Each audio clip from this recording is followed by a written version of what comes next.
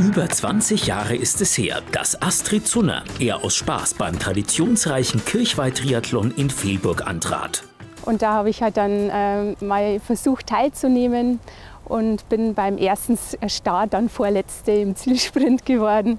Und dann wollte ich halt von Mal zu Mal besser werden und ähm, habe halt dann auch die Langdistanz in Rot halt äh, mal angeschaut und wollte da auch teilnehmen. Und dann von da an habe ich dann wirklich auch ein bisschen professioneller trainiert. Vom Ergebnis des allerersten Versuchs hat sie sich also weder in die Schranken weisen noch abschrecken lassen. Ja, und dann habe ich halt einfach immer weitergemacht, obwohl ich oft gesagt habe, oh, das war, war jetzt der letzte Wettkampf und ich mag jetzt nicht mehr, jetzt steige ich aus.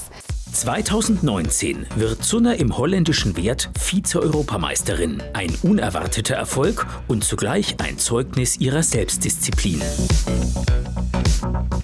In der aktuellen Lage finden viele Triathlons nicht statt oder werden verschoben. Vergangenes Wochenende hätte Zunner in Gran Canaria starten können.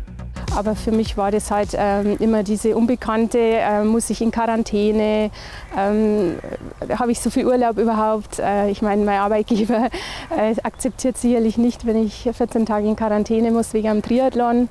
Und ich wollte mir da halt auch keiner Gefahr aussetzen und deswegen habe ich jetzt keine Wettkämpfe auch gemacht. Astrid Zunners Arbeitgeber bietet aber, nur wenige Meter neben ihrem Büro, eine gute Trainingsmöglichkeit.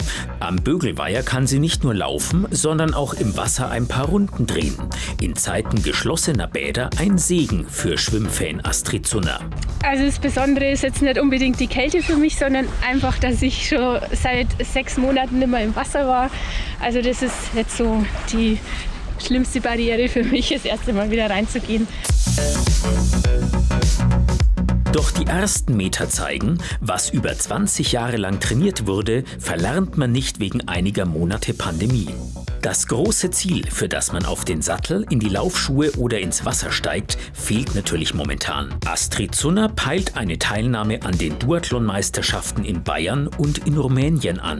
Beide sollen nach aktuellem Stand im Juni stattfinden. Also diese Ziele sind schon sehr wichtig, weil man möchte ja auch mal abrufen und was zeigen.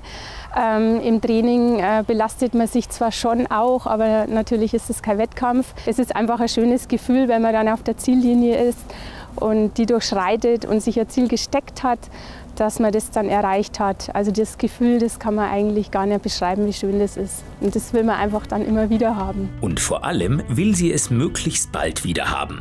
Denn der letzte Triathlon liegt zumindest gefühlsmäßig fast schon so weit in der Vergangenheit wie der erste Triathlon, damals auf der Kirchweih in Fehlburg.